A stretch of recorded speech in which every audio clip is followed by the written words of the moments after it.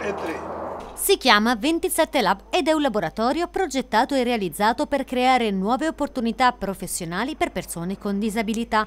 Un progetto che trova le radici nella volontà di perseguire l'affermazione dei diritti al lavoro e all'autodeterminazione degli utenti dei diversi servizi dell'Istituto Agazzi. Questa diciamo che è l'ultima di una serie di iniziative volte a garantire il diritto al lavoro per le persone con eh, elevati bisogni di sostegno che si situa dopo l'apertura di un bar interno all'Istituto di Agazzi e dopo aver promosso delle mediazioni lavorative all'interno di cooperative e di aziende. Sarà così attivato un centro autorizzato a svolgere mansioni di imballaggio e confezionamento di generi non alimentari per conto terzi.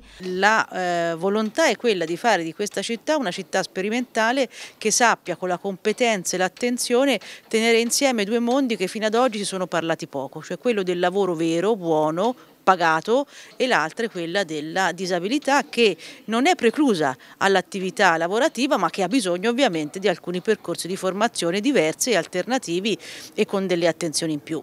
Un'attività professionale organizzata come una vera e propria azienda con l'obiettivo di diversificare la gamma delle prestazioni per coinvolgere sempre più utenti dell'istituto andando così a concretizzare quanto espresso dall'articolo 27 della Convenzione delle Nazioni Unite sui diritti delle persone con disabilità.